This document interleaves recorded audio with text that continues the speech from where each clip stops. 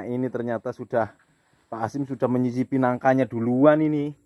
karena dulu itu riwayat sakit kejang Mm-mm. epilepsi lah Assalamualaikum warahmatullahi wabarakatuh. Jumpa lagi dengan video YouTube Putri Tunggal 84. Di kesempatan sore hari ini saya di depan rumahnya apa? Mbah Tris ya, Transmigrasi Sebungur 2016. Nah, di sini saya ditemani sama Pak Hasim untuk melihat perkembangan lahannya Mbah Tris ya, lahan eh, tanaman daun bawang ya. Alhamdulillah eh, di sini juga di depannya rumahnya Mbah Tris ini terlihat ada pohon-pohon nangka eh, yang sudah kecil tapi sudah berbuah. Ini sengaja dikasih dipotong atasnya ya, dipotong akarnya supaya tidak terlalu tinggi. Dan ternyata di sini sudah ada buahnya ya di sini ini. nah itu ya. Jadi ada buahnya dibungkus. Itu juga. Karena eh, apa namanya ya kalau rendah begini kan metiknya enak ya metiknya enak. Jadi di sini di depannya di pinggiran jalan ditanami nangka supaya untuk pelindung juga dan bisa diambil buahnya. Terus rumahnya Pak Alam di sebelah sana ya, masih ke sana lagi. Tapi sekarang Pak Alamnya lagi nggak di rumah, masih antar istrinya katanya ke Samarinda. Nah, di sini yang ini ya, yang tinggi-tinggi seperti ini, ini juga pohon nangka ya, tapi ini tinggi kecil tapi tinggi tapi beda dengan punya Mbak Mbah Tris. Dipotong rendah seperti ini tidak terlalu tinggi. Nah tapi sudah berbuah. Ini ya ada buahnya ya dibungkus untuk menghindari lalat buah ya supaya tidak eh, apa namanya tidak busuk itu ada yang busuk di atas.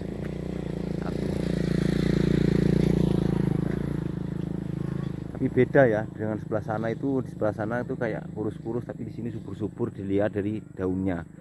Hijau-hijau. Hijau-hijau.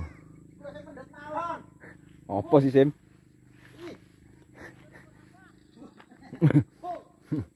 ngapa sih Sim? uh, ternyata di sana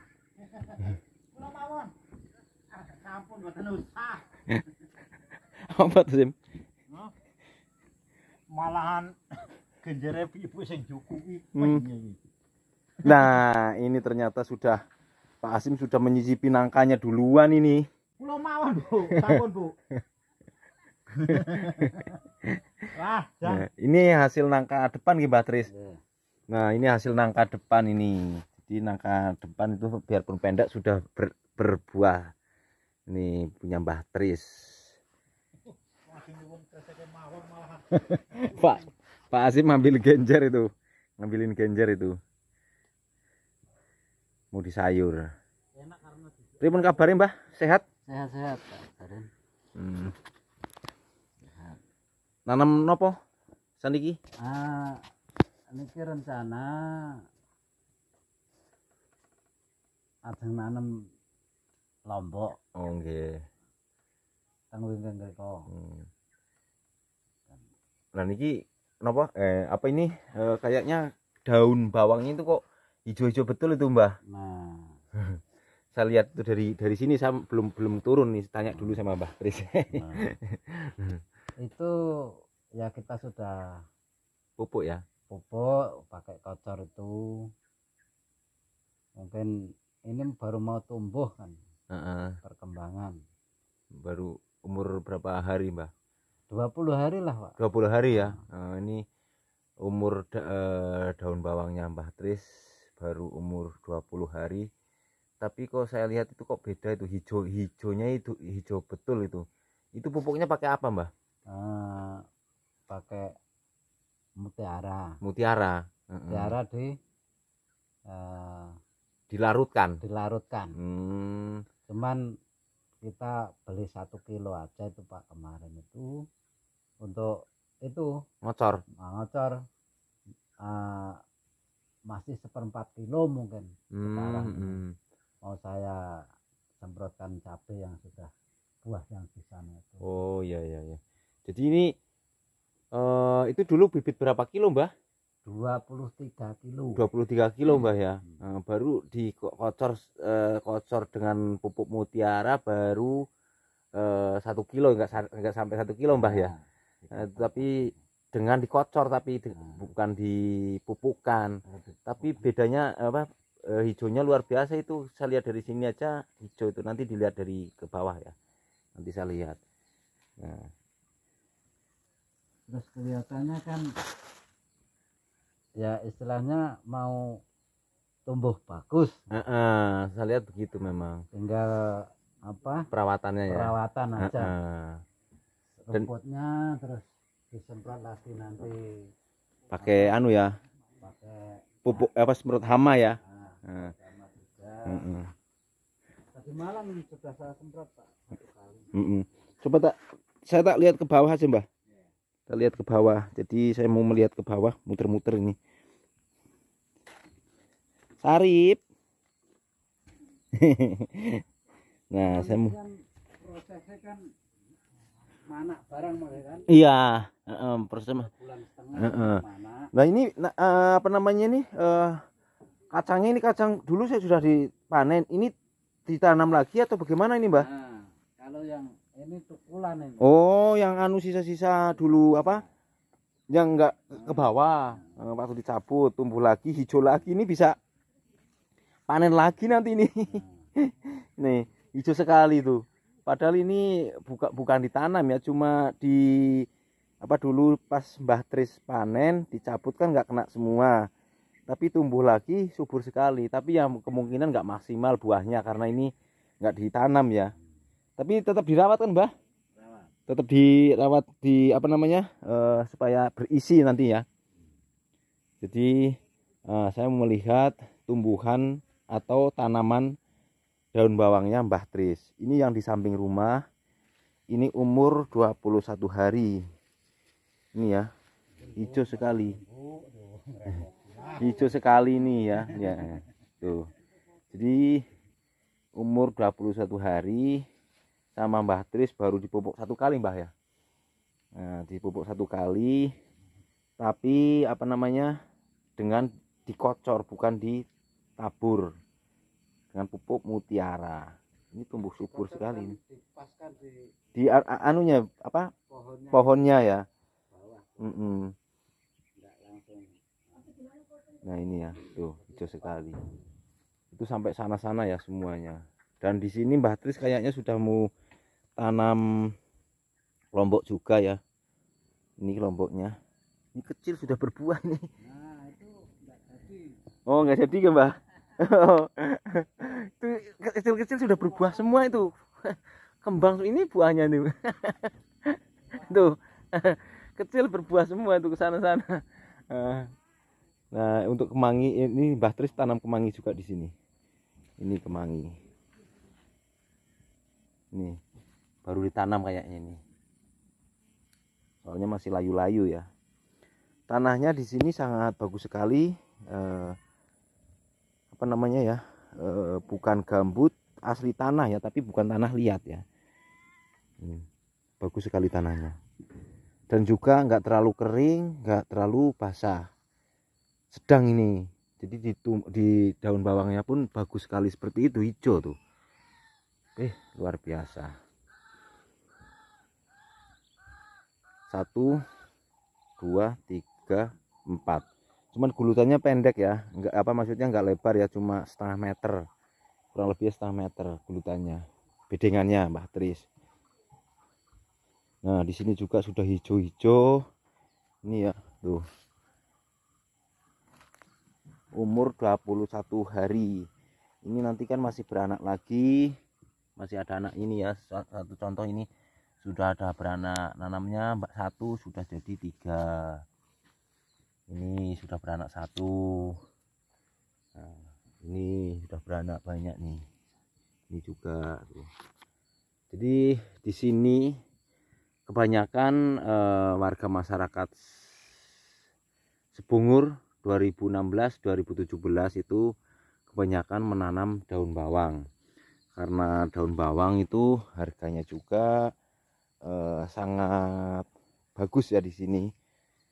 Bagus eh, karena paling rendah itu biasanya kalau untuk sekarang ya itu 25 nanti naik sampai 30 35 sampai 40 seperti itu.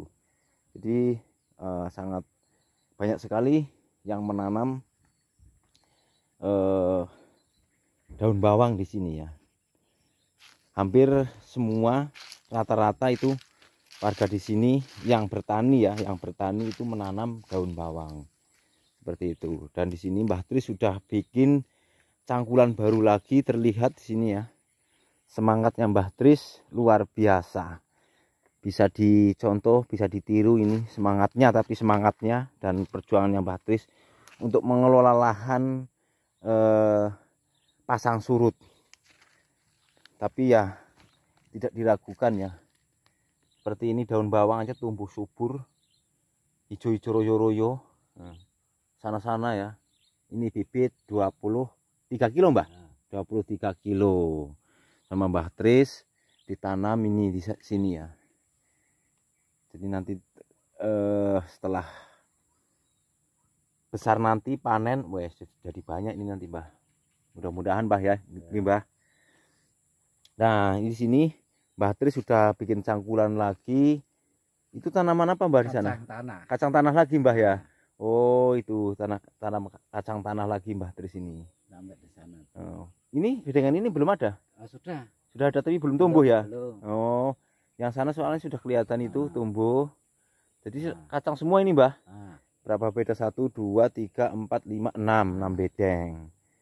Eh, Jadi se- sebenarnya di daerah sini cuma Mbah Tri sendiri yang nah, yang sendiri.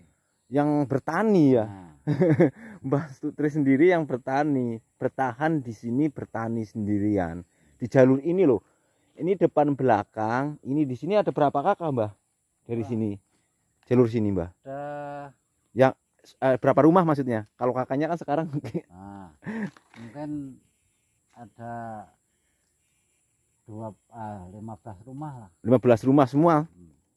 15 rumah eh, Mbah Tris di sini bertani sendiri. Yang lain yang lain nggak ada yang bertani. Eh. Aduh. Lah iya kacang ini di sini juga sudah tumbuh. itu kan tumbuh terong ini kok bedengan Oh, sana ya. nah Hmm, terong mungkin anu kan bekak ke mereka. Oke, oke. Ini kandang ayam, Mbah? ini kadang bebek. Hmm, tapi dagang. Gagal. ini ya, eh, tanaman tumbuhan kacang ini ya. Kacang ini Mbah Tris. Jadi Mbah Tris ini ya biarpun di sini bertani sendiri tapi tetap bertahan untuk bertani. Ngapunten Mbah? Mbah dugi pundi Mbah sik? Jawane Mbah? Aku lali Mbah Jawa Tengah pundi Mbah gerobokan grobogan eh grobogan grobogan. Mbah Tris asal grobogan. Ini kan rencana. Ini bukaan baru Mbah? Nah, mau dibuka baru mau ditanami cabe. Cabe sini rencananya. Nah, cabe. Cabe apa namanya? Ori ori Ori, rawit. rawit. Hmm. Ori Kulo begini iki, Mbah. 212. peteng. Nah, nah, rencana. Re- rencana ini ya sudah disemprot. Nah ini mungkin tadi kan ndak ndak bekerja Mm-mm. pur wah ini nunggu nunggu anu tadi hari itu di dalam konten saya Mm-mm.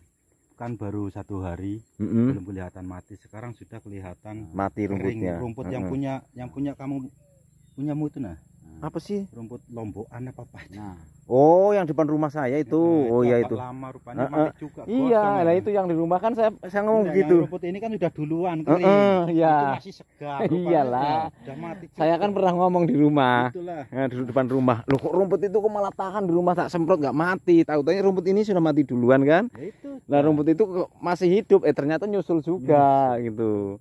Eh, Alhamdulillah ini Mbah Tri sudah mau me- menanam di sini menanam cabai lagi ya Mbah. Jadi ini dulu pernah digarap kan Mbah sini? Ya pernah. Pernah digarap ya? Nah, Ini sudah digulut-gulut kayaknya nih. Mm. Nyesel. Kaca ke Tanjung.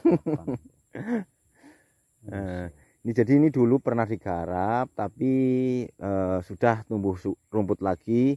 Jadi ren- rencana ke depannya Mbah Tris mau ditanam lombok seperti itu. Ini sudah disemprot nanti setelah disemprot mungkin sama eh, sudah ada bibit ya kan Mbah? Belum. Belum. Oh. Tapi apa namanya baru rencana gitu ya, mau rencana. Begini. Nah, ini Pak Kasim tak tahu. Yang tak tahu. Untuk mengenai bibit dan apa ya?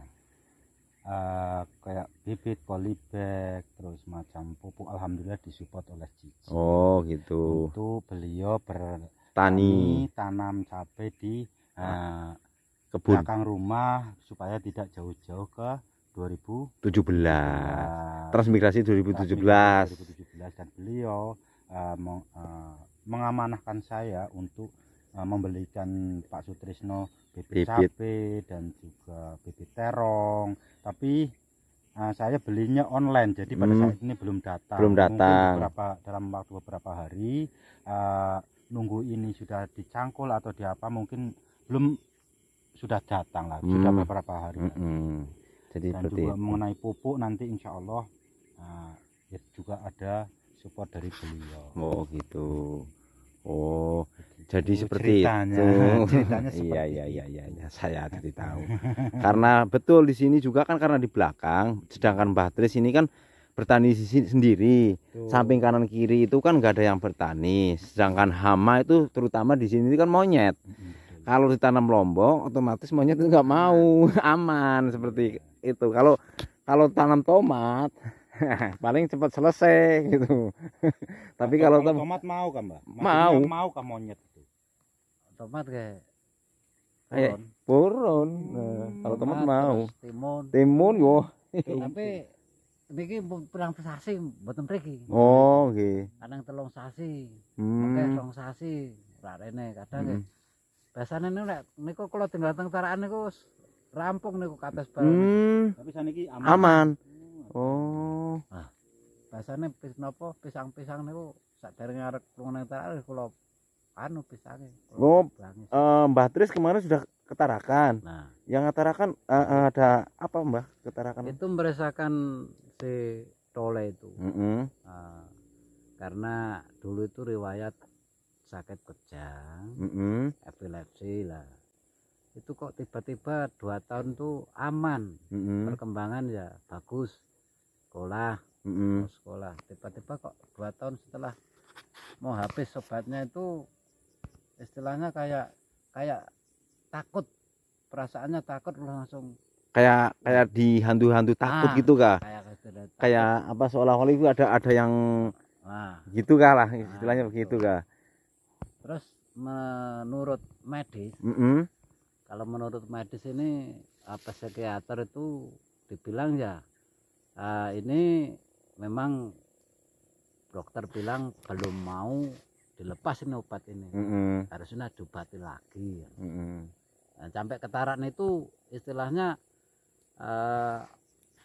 su- suruh scan Mm-mm. supaya saya ngobati itu tahu obatnya apa yang apanya yang anu di dalam itu Mm-mm. di kepala itu penyebabnya saya tidak tahu maka harus dibawa ke Tarakan Mm-mm. Cuman scan saja tuh sampai satu minggu di sana Pak Dari. tapi hasilnya gimana Hasilnya gimana? ke Tanjung Selor Sudah. lagi? sudah Mm-mm. Sudah, terus di anu dokter sini akhirnya oh ini diobati lagi lah kalau begini nih berarti memang betul ada apa namanya nah, dalam otak ah, sarafnya lampu, lampu saraf lampu lampu listrik katanya Heeh. Heeh. ada listrik yang pertama itu anu pak kena anu lah istilahnya ada macam benturan ah gimana? benturan macam kena itu Hmm, jadi mm-mm. itu istilahnya apa ya ada salah satu saraf yang Ah. terganggu gitulah Nah, istilahnya terus seperti itu kan kemungkinan bareng ngoten niku makanya nggak terus eleng normal malah hmm, tapi nek dalam sekolah terus nopo numpak sepeda kan berbahaya nih mm, mm, mm, mm. terus akhirnya kalau periksa Hmm, seperti itu. Jadi kemarin Mbah Mbah Tris itu ketarakan untuk mengobatkan anaknya istilahnya Ya. mengobatkan ya, Mbah ya. Ketarakan eh, ketemu sama Mbah Haris. Mbah Haris juga Ketemu di Tarakan seperti itu. Oke, monggo pun sonten iki. Jadi seperti itu. Terus Ini mati. Mm-mm. apa mereknya iki? Oh, ora usah disebut.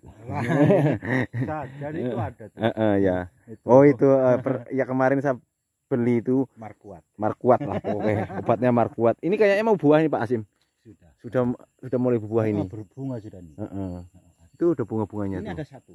mana oh iya ini ada sih Enak ini. enak ini tapi masih mentah nggak enak lah masih mentah Eh, jadi pada sore hari ini saya alhamdulillah bisa sepenuhnya ya. Heeh. Mudah-mudahan minta doanya saja. ya apa namanya untuk pertaniannya Mbah Bapak Tris Mbah Tris nanti bisa uh, berkembang jadi tidak uh, ada hasil tidak ke mana-mana lagi Betul.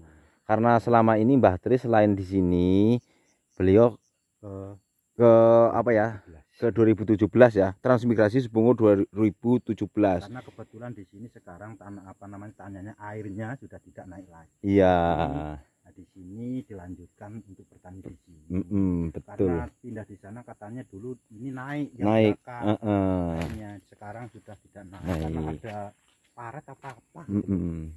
jadi Mbah Tris eh, bertani di sini lagi ya Mm-mm. itu mantap sekali ini nah iya ini ini. ini yang di belakang. Ini hijau. normal sekali ya? Itulah. Normal iki loh sekali. Eh, memang sih ya kalau anaknya sih belum. Kan, kan memang ini belum beranak pak.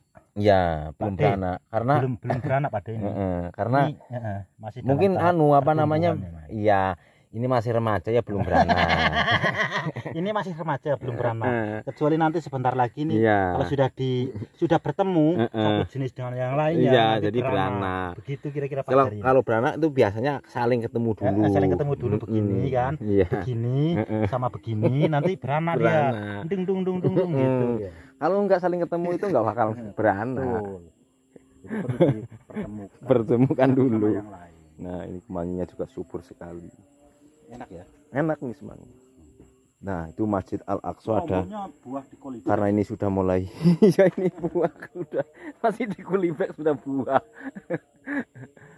Nah, itu di masjid al aqsa sudah ada Mbah Marioto yang sedang kirok ya di masjid al aqsa jadi seperti itu. Uh, alhamdulillah. Uh di sini juga ternyata ada daun bawang juga ya. Itu di situ ada dua empat jalur? Sholawat ibu-ibu teng masjid teng kardus. Iya, iya. Jadi alhamdulillah sekali pada sore hari ini saya apa namanya bisa berkeliling-keliling melihat tanaman eh, apa namanya daun bawangnya Mbah Tris seperti itu. Terima kasih buat teman-teman semuanya yang sudah mengikuti channel Putri Tunggal 84. Saya ucapkan banyak terima kasih.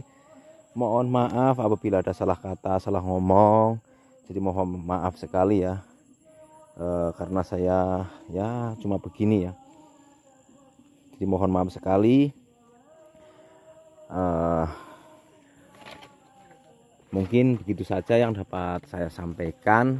Kurang lebihnya mohon dimaafkan eh, karena saya manusia biasa banyak salah dan keliruan mohon dimaafkan saya akhiri wabillahi taufiq walhidayah wassalamualaikum warahmatullahi wabarakatuh